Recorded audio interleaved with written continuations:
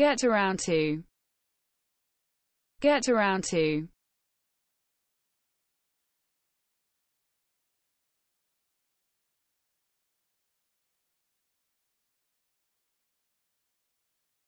To eventually begin a return to some procrastinated task.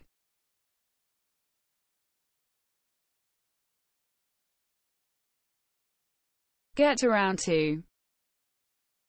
Get around to.